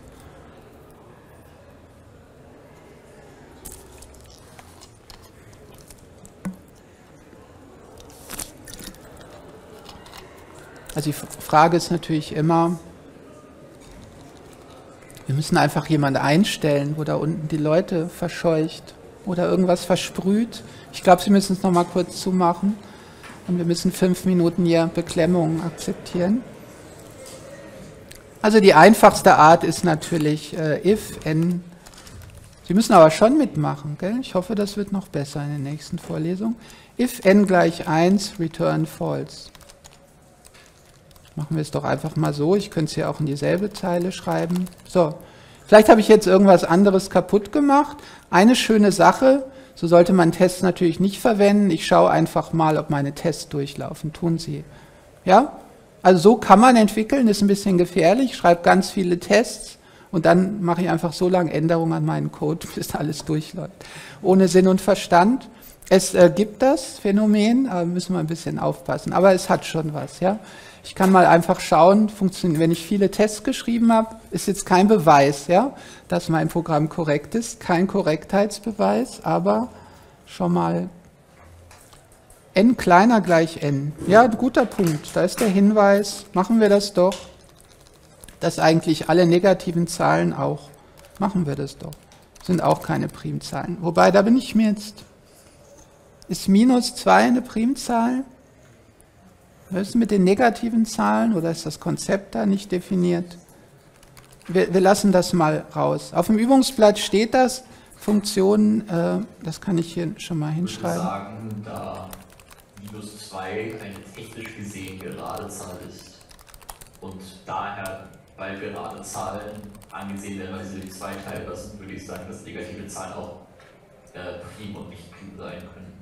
Aber die tatsächliche Definition weiß Ja. Nicht guter Punkt. Es kommt natürlich darauf an, wie man es, aber die Standarddefinition, danke für den Hinweis. For n that are not, aber eine wichtige Sache, die steht auch auf dem Übungsblatt, for n that are not natural numbers, the behavior of this function is undefined. Das ist relativ typisch man hat einfach, ich sage einfach, wenn du die Funktion mit einer negativen Zahl aufrufst, selber schuld. Die Funktion kann dann alles machen. Sie stürzt vielleicht ab, sie äh, löscht die Festplatte, sie, das geht in eine Endlosschleife, tu es nicht. Ja? Das nennt man undefiniertes Verhalten. Genau. Das heißt, man muss nicht für alle Sachen was machen, man, kann, man muss es nur hinschreiben dann. Wunderbar, das haben wir jetzt. Jetzt haben wir, jetzt kommen noch ein paar drumherum Sachen. Irgendwie. Ja, nur. Also jetzt haben wir ein Programm, das läuft. Wir haben jetzt schon mal drei Dateien geschrieben. Ich zeige es hier nochmal, das sind jetzt die Ausführungen. Wir haben geschrieben die Datei, wo die eigentliche Funktion drin steht, die Programm, die Datei mit dem, sodass ich es von der Kommandozeile aufrufen kann und automatische Tests. Schon mal ganz gut fürs erste Mal. So, jetzt ein ganz wichtiger Punkt. Wir haben natürlich schönen Code geschrieben, aber der Code sollte Vorgaben genügen. Es gibt einfach Vorgaben, wie Code formatiert sein sollte. Dafür gibt es ein schönes Programm von den LLVM-Leuten, von den Clang-Leuten. Das heißt Clang Format. Das kann ich jetzt hier mal ausführen mit Kommandozeilen. Ich mache mal Clang Format und nehme mal die Datei, die hier links offen ist, prime cpp 14. Man muss hier die Versionsnamen angeben. Die Argumente erkläre ich jetzt mal nicht, wie error prime.cpp. Sag mal, überprüf mal den Code. Und da sagt er mir, Ja, das ist nicht okay, dass ich hier, man kann das machen in C++, ja, dass man auf dieselbe Zeile, wenn es nur eine Anweisung ist, aber eigentlich soll man geschweifte Klammern drumherum machen und das auf eine neue Zeile schreiben. So, was ich jetzt machen kann mit Clang Format, wir hatten früher immer CPP-Lint verwendet von Google, inzwischen benutzen wir Clang Format. Wenn ich Clang Format einfach keine Argumente mitgebe, dann macht er mir das Programm so, wie es schön formatiert wäre. Er formatiert es automatisch. Und ich kann es sogar in place machen. Das zeige ich Ihnen hier. Also im Editor kann ich jetzt hier aufrufen, Clang Format 14 minus i, ändere die Datei an Ort und Stelle. Prozent ist einfach die Datei, die gerade offen ist. Bam, jetzt hat er sie mir hier geändert. Ja? Also das heißt, Sie brauchen gar nicht mehr selber durch den Code gehen und schauen, erfüllt das die Vorgaben, sondern Sie rufen einfach, äh, ah, interessanterweise hat er keine geschweiften Klammern hingemacht. Das überrascht mich jetzt. Ich glaube, jetzt wird er die sogar nicht wegmachen, oder? Nö. Also das heißt, es ist gar nicht äh, eindeutig, je nachdem, was ich mache. Manche Sachen werden akzeptiert. Also insbesondere, nur um das mal zu veranschaulichen, ich hätte meinen Code auch alles in eine Zeile schreiben können. Ja? Jetzt steht mein gesamter Code in einer Zeile. Wir schauen mal, ob das funktioniert. Dem Compiler ist das egal. Gell? Ja, funktioniert auch. Ich habe jetzt meinen gesamten Code in eine Zeile geschrieben. Ohne, wer braucht schon Zeilenumbrüche? Der äh, Compiler nicht, ja. Und jetzt sage ich, äh, formatiere mir das mal schön. Bam, ja, nett. Das ist schon sehr nett, äh, weil Formatieren kann auch ziemlich nervig sein. Kümmert sich wirklich um alles, um zu lange Zeilen, dass es schön eingerückt ist und so weiter. Sehr praktisch. Ist deswegen auch eine harte Vorgabe. Wenn Sie bei uns was hochladen, sehen wir gleich, wird automatisch überprüft, ob Sie das gemacht haben. Leerzeilen zu haben, genau. Ja, Leerzeilen ist so ein Thema. Muss man Leerzeilen haben wie hier oder nicht? Also das, äh, das überlässt, glaube ich, Clang Format Ihnen. Wenn ich das hier mache, wird er mir die nicht wegmachen. Also der lässt einem ein bisschen Spielraum, ruiniert einem jetzt nicht so Layout-Sachen. Also wenn ich Code strukturieren will mit Leerzeilen und Blöcken, äh, das, ja, das heißt, es wird nicht ein, ja, es ist nicht eindeutig in der Hinsicht. So, super praktisch, ja, habe ich Ihnen gerade erklärt im Editor, aus dem Editor heraus. Übrigens, das heißt, führe dieses Kommando aus. Minus i heißt, ändere die Datei direkt. Prozent ist die aktuelle Datei im Editor. Das geht jetzt nur in Vim oder NVim. In anderen Editoren gibt es vielleicht sowas ähnliches oder Sie machen es halt einfach von der Kommandozeile. So, jetzt kommt noch ein anderes wichtiges Thema. Wichtig für das erste Übungsblatt schon für den Rest Ihres Lebens. Das funktioniert jetzt bei uns. Also ist extrem wichtig, wenn man Software schreibt, das funktioniert jetzt bei uns. Und jetzt möchte ich Ihnen das geben oder andersrum Sie uns und jetzt soll es auch bei mir funktionieren. Nur weil es bei mir funktioniert, heißt ja nicht, dass es auch woanders funktioniert. Vielleicht habe ich hier irgendwie besondere Umgebung, besondere Parameter, sodass es hier funktioniert. Dazu schreiben wir jetzt einen Make-File. Und was ein Make-File ist, erkläre ich Ihnen jetzt einfach auch an einem Beispiel. Auf den Folien steht es ja noch etwas genauer. Und ich mache jetzt einfach mal Folgendes. Ich schreibe mal hier Compile, Doppelpunkt. Was heißt, sehen wir gleich. Was haben wir jetzt hier die ganze Zeit gemacht? Ich habe zum Beispiel das hier benutzt, um mein äh, ah, das klappt ja super. Ja, das habe ich benutzt, um mein äh, Main-Programm zu kompilieren. Und dann habe ich das benutzt, das schreibe ich hier mal gerade zu Fuß hin. Das habe ich ja immer aufgerufen. Ich bin dann mit Pfeil nach oben in meiner History hier nach oben gegangen, damit ich nicht nochmal tippen muss. Ich schreibe die jetzt mal hier hintereinander.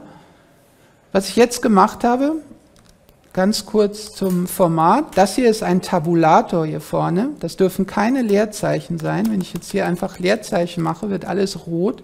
In jedem vernünftigen Editor, Syntax Highlighting nennt man das. Das heißt, da stimmt was nicht offenbar. Ich muss hier einen Tabulator machen, einen Tab. Übrigens ein Tabulator, der hat ja oft, wenn ich hier Tabulator mache, äh, Steuerung V. Wenn man wirklich das Zeichen haben will und nicht die Funktion des Zeichens, macht man vorher Steuerung V. Dann kriegt man sowas hier. Das geht auch in den meisten Editoren, auch auf der Kommandozeile. Weil Tab hat oft irgendeine Funktion die will ich ja nicht. So, wenn ich das Zeichen haben will, mache ich vorher Steuerung V und drücke dann Tab. Steht auch auf den Folien. Was ist jetzt der Vorteil von dem hier? Ein Makefile, Compile, das ist ein sogenanntes Target. Und jetzt kann ich einfach machen Make Compile. Make guckt jetzt einfach, gibt es in dem Verzeichnis ein Make-File? Gibt es, habe ich gerade geschrieben. Gibt es da irgendein Target, irgendwas, was mit Doppelpunkt dahinter ist, namens Compile? Und dann führt er das einfach aus. Also das ist die erste Funktion von dem Make-File, einfach Abkürzung für Sachen, die ich häufig mache. Super einfach, super praktisch. Jetzt machen wir doch mal die anderen Sachen, die wir hier gemacht haben, zum Beispiel den Check-Style. Und diese vier Targets, die ich Ihnen jetzt zeige, werden Sie ab jetzt für alle Übungsblätter verwenden. Äh, wir wollten einfach Clang Format 14 mit, und zwar soll es mir nicht, der soll es jetzt nur überprüfen, das geht einfach so. Also einfach mir gar nicht, einfach nur schauen, erfüllt die Vorgaben, Stern CPP, alle C++-Dateien hier. Machen wir mal Make Check Style. Ja, und den Rest haben wir, ich habe es gar nicht überprüft, ging einfach. Mal gucken, ob es jetzt, wenn ich jetzt hier irgendwas komisch mache, zum Beispiel in einer Zeile das alles schreibe, dann müsst ihr jetzt hier meckern. Genau. Das ist Checkstyle. Was hatten wir noch? Und jetzt würde ich gerne meine Tests ausführen. Genau, wie führe ich die aus? Naja, ich rufe einfach Prime Test auf. Machen wir das mal hier. Make Test. Jetzt hat er die Tests ausgeführt.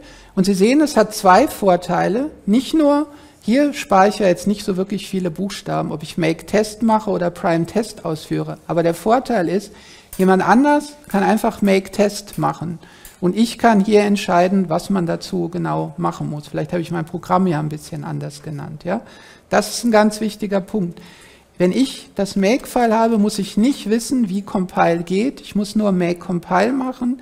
Im Make-File, das Sie dann geschrieben haben, steht, wie man kompiliert. Das ist der entscheidende Punkt. Und dann wollen wir auch immer noch ein Target aufräumen. Aufräumen ist immer gut haben. Äh, hier stehen ja jetzt Sachen, die Sie nicht geschrieben haben, sondern die so Nebenprodukte sind. Und zwar, können Sie jetzt nochmal, äh, nee, ist zu laut. Es war nur ein Versuch. Prime Main ist ja einfach, was der Compiler erzeugt hat und das auch. Das wollen wir ja nicht den Leuten, wenn wir das irgendwie als Produkt shippen. Äh, wir wollen einfach so ein Target haben, das sagt, Sachen, die einfach Nebenprodukte sind, räumen die mal auf. Die Option minus F sagt, lösche es auch, wenn es gar nicht gibt, damit es keine Fehlermeldung gibt, wenn es das nicht gibt. So. Und jetzt kann ich make clean machen. Das Schöne ist bei Make, ich kann auch alles hintereinander schreiben, mach mal Make, räum mal alles auf, kompilier's, teste den und mach das. Jetzt macht er alles hintereinander. Sie sehen schon sehr praktisch. Und noch praktischer, ich kann hier jetzt auch ein Target schreiben, das alles zusammen macht, indem ich das einfach so schreibe. Ich werde noch ein bisschen mehr zu äh, Make sagen. Das heißt jetzt einfach Make All soll Clean Compile Check Style Test machen. Make all, jetzt macht er sie alle vier. Und noch netter, wenn ich Make aufrufe ohne Argumente, nimmt er einfach das erste Target und macht alles. Also Sie sehen, sehr nett, ja, so ein Make-File. Make ist wirklich sehr praktisch, gibt es seit Jahrhunderten, glaube ich. Genau, und das sollen Sie einfach auch immer mit hochladen. Wunderbar. Und ich werde noch mehr zum Make erklären. So, das war auf den Folien, genau kann noch viel mehr. Achtung, jede der Befehlszeilen muss mit einem Tab anfangen. Sie sollen irgendwas definieren, wo man dann make das hier machen kann. Schreiben Sie einfach das hier Doppelpunkt und dann mit Tab eingerückt eine Reihe von Befehlen. Make ist für alles Mögliche praktisch, wenn man irgendwie so Ab Kommandofolgen, die man immer wieder braucht. Und dem, man kann mit Make noch mehr machen, da haben wir noch ein paar Vorlesungen zu. Gibt es eine Frage? Gerne. Ja, genau. Sowas geht alles und das kommt in den. Ne, jetzt haben wir es zu, super zu Fuß geschrieben. Ich kann hier jetzt zum Beispiel, eine Sache kann ich ja gerade mal, zum Beispiel den C-Compiler kann ich hier als Variable angeben. Ne? Nur mal so. Und dann kann ich hier schreiben, Doppelpunkt. Können Sie ja auch gerne schon machen, wenn Sie da lustig sind. Nicht zu viel abgefahrenes Zeug. Ja, das hat natürlich den Vorteil, das müsste jetzt genau dasselbe machen. Probieren wir es gerade. Genau. Wenn ich jetzt den Compiler ändern will, muss ich es nicht hier ändern, sondern einmal da. Also Variablen kann man auch einführen. Genau. Und man kann noch viel mehr machen. Nächste Vorlesung dann. Welcher Datatype ist? Makefile ist einfach eine Textdatei. Alles, was wir schreiben, sind Textdateien. Hm. So, jetzt versagt gleich meine Stimme. Wir müssen aufhören. Wir sind aber auch gleich soweit. Daphne ist unser Kursverwaltungssystem. Einfach anmelden. Wenn Sie auf Daphne, sieht so aus hier, das ist einfach dieses. Äh, einfach anmelden, auf die entsprechende Veranstaltung gehen. Ich bin jetzt hier schon angemeldet und dann, es funktioniert über LDAP, also keine neue Usernamen und Passwort vom Rechenzentrum. Wir erfahren Ihr Passwort natürlich nicht. Daphne fasst nur alle möglichen Systeme zusammen, die wir hier benutzen, die ich Ihnen jetzt noch kurz erkläre in den letzten fünf Minuten oder so. Daphne fasst einfach alles zusammen. Jetzt muss ich mal auf die. Das erste ist SVN. Das erkläre ich kurz. Mal, wer kennt schon SVN hier oder hat es schon benutzt? Ein paar Leute, aber nicht so viele. Macht auch nichts. Das, wer kennt Git oder hat das benutzt in der, okay, in der ersten Semester Einführung in die Programmierung Git. SVN ist wie Git, nur einfacher und es gibt einen Grund, warum wir SVN benutzen, siehe Forumspost. Es geht einfach darum, wenn Sie was abgeben, Sie schicken uns das nicht per Mail, Gott bewahre, ja, sondern über ein, so ein System, Sie laden das bei uns hoch. Und das zeige ich Ihnen jetzt. Jetzt sind wir hier angemeldet als User Test. Und wenn ich jetzt hier mal hingehe, äh, sehe ich jetzt hier zum Beispiel mein Verzeichnis Test und das ist, oh, da stehen Sachen, die da nicht stehen sollten. Das habe ich vergessen zu löschen. Das werde ich jetzt einfach kurz mal reparieren, indem ich, äh, ich gehe jetzt hier, ich, genau, Copy Link Address werde ich jetzt hier machen. Jetzt mache ich mal hier Checkout, das was in Git Clone ist, werde ich jetzt hier einfach mal auschecken. Also Sie können da hingehen, wenn Sie sich in Daphne angemeldet haben, dieses Verzeichnis auschecken, die aktuelle Version. Und jetzt kriege ich das, was von Ihrem Verzeichnis bei, auf dem Server gespeichert ist, kriegen Sie jetzt hier in dem Verzeichnis Test. Genau. Und das wollte ich jetzt alles nicht haben und deswegen werde ich das jetzt alles mal löschen. svn remove alles, ist jetzt alles gelöscht und jetzt werde ich das mal äh, hochladen, alles weg. Genau, so. Das brauchen Sie jetzt, können Sie jetzt ignorieren, das habe ich jetzt nur mal gemacht, damit es leer ist. Wenn ich jetzt hier hingehe, so sieht das bei Ihnen auch am Anfang aus, dann ist das einfach leer. Ja? Hier steht nichts. Jetzt möchte ich gerne, nehmen wir an, was ich gerade geschrieben habe, war mein erstes Übungsblatt. Jetzt mache ich hier mal ein Verzeichnis Blatt 01. So, und jetzt kopiere ich mal die Sachen. Copy, also Sie schreiben es natürlich und kopieren es nicht. Was habe ich jetzt hier? Müsste ja eigentlich eins oben drüber sein. Genau, diese ganzen Sachen kopiere ich mal dahin. Meine ganzen CPP-Dateien kopiere ich hier hin und mein Makefile kopiere ich hier hin. So, das habe ich jetzt hier. Na, die habe ich jetzt, ich sollte die in Blatt 1 kopieren. Okay. CPP, Move mache ich jetzt. Solche Kommandos müssen sich auf der Linux-Kommandozeile, wenn Sie das nicht gewohnt sind, können Sie einfach nachlesen oder hier in der Vorlesung an die Stelle, wo ich es gemacht habe, verschiebe jetzt einfach die Dateien rein.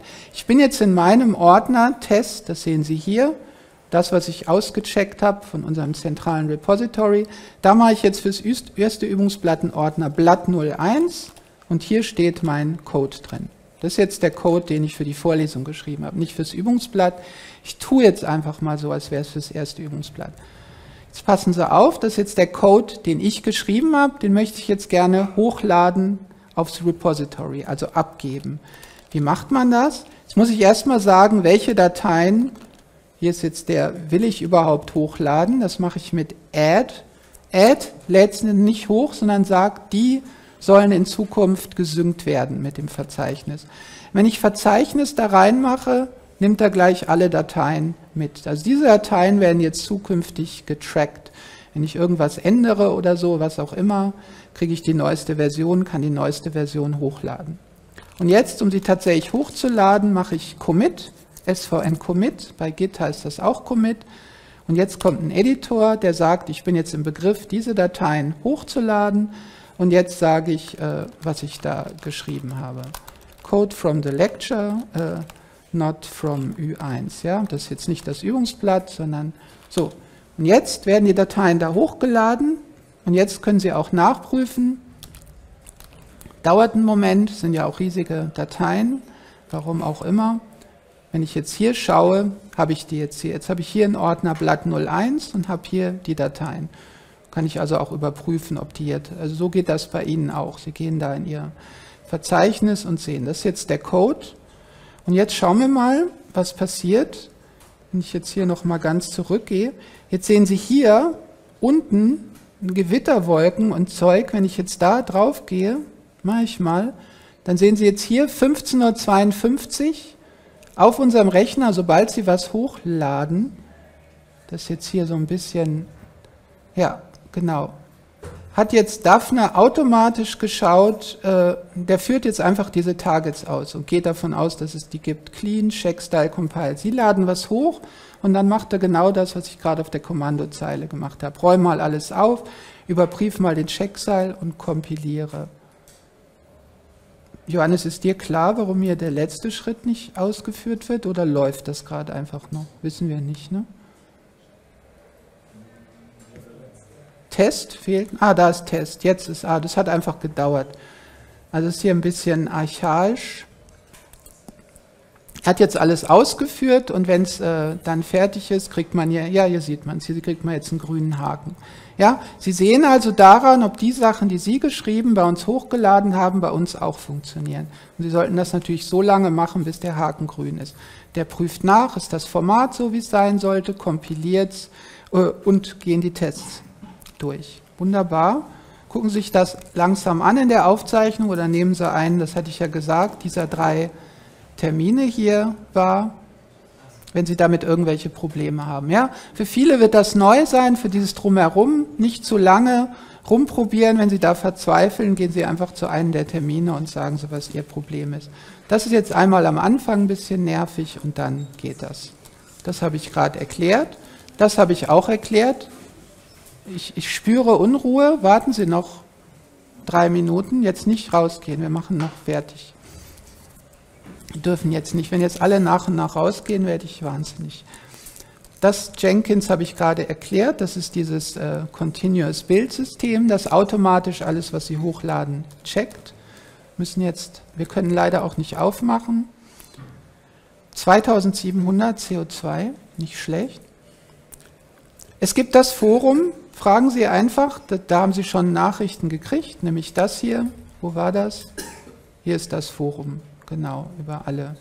Da gibt es Ankündigungen zu jedem Übungsblatt. Sie können fragen, es gibt hier schon eine Frage zum ersten Übungsblatt, zu den Unit-Tests.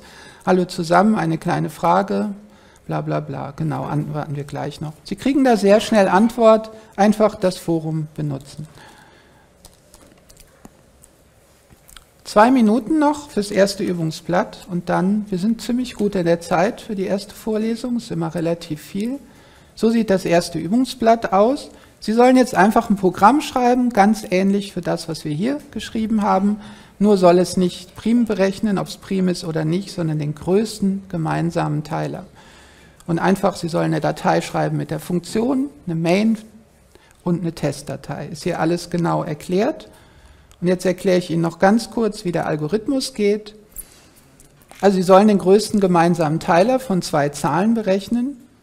Hier steht jetzt, die Folie gehe ich jetzt nicht durch, das ist einfach ein bisschen die Mathematik dahinter, das ist der euklidische Algorithmus und den zeige ich Ihnen jetzt kurz. Passen Sie noch gut auf, dann können Sie gehen und sich gleich ans Übungsblatt machen. Der euklidische Algorithmus geht so, der ist sehr nett, und auch nett zum Implementieren. Ein paar Zeilen sind das. Sie wollen den GGT von 14 und 52 machen. Was auf der vorherigen Folie steht, ich kann auch den GGT von 14 und 52 minus 14. Wenn ich hier 14 abziehe, ändert sich der GGT nicht. Ja? irgendwas ein Teiler von dem und dem, ist auch irgendwas ein Teiler von dem und dem minus dem. Mathematik müssen Sie jetzt nicht verstehen, können Sie auch einfach benutzen, dass es so ist. Das heißt, was ich jetzt hier machen kann, ist, ich kann hier schreiben, das ist jetzt der GGT und das ist jetzt quasi, was der Algorithmus, den Sie implementieren, macht. 14 und jetzt nehme ich die größere Zahl und ziehe da so oft die 14 ab, bis, ich, äh, bis der Rest kleiner 14 ist. Was kommt da raus? Also 42 modulo 14, 52 modulo 14. Ich höre. Noch eine Anstrengung zum Ende. So oft 14 von 52 abziehen und dann den Rest. Wie oft passt die 14 in die 52? Dreimal, genau. Dreimal 14 ist Rest 10, genau. Dreimal 14 ist 42, Rest 10. Das mache ich hier. Jetzt mache ich es andersrum. Jetzt ist 14 die größere Zahl und ich ziehe so oft 10 von der 14 ab, äh, bis ich einen Rest kleiner 10 habe. Was ist 14 modulo 10? 4, jawohl, Sie können einfach reinschreien, genau. Also ein netter Algorithmus. Jetzt muss ich wieder sehen, man muss immer so hin und her gehen. Jetzt ist das die kleinere Zahl, 4. Jetzt will ich so oft die 4 von der 10 abziehen, bis ein Rest kleiner 4. Was ist der Rest? 2, jawohl, super. 4, 2, jetzt ist wieder 2 äh, die kleinere Zahl. Jetzt ziehe ich so oft die 2 von der 4 ab. Was ist da der Rest? 0, genau. Und irgendwann komme ich bei 0 und GGT von 0 mit irgendwas ist irgendwas. Das ist der Base Case 2. Das ist der euklidische Algorithmus. Sie sehen, ein ganz netter, einfacher Algorithmus. Den sollen Sie implementieren, können dabei sehr nahe dem Beispiel folgen aus der Vorlesung. Hallo Peter. Sie haben eine Woche Zeit. Die meiste Arbeit wird es drumherum sein. Es gibt die drei Termine. Fangen Sie einfach gleich an, nicht erst am Montag, völliger Quatsch. Fangen Sie jetzt an, jetzt haben Sie alles gehört. Äh, und wenn Sie irgendwelche Probleme haben, gehen Sie in eine der drei äh, Fragestunden. Probleme mit egal was, genau. Und hier ist das mit den Links. Gibt es gerade, bevor Sie jetzt losrennen, noch irgendeine Frage zu irgendwas, die wir hier in der Runde? Alles klar, nicht der Fall. Viel Spaß, wir sehen uns nächste Woche. Tschüss.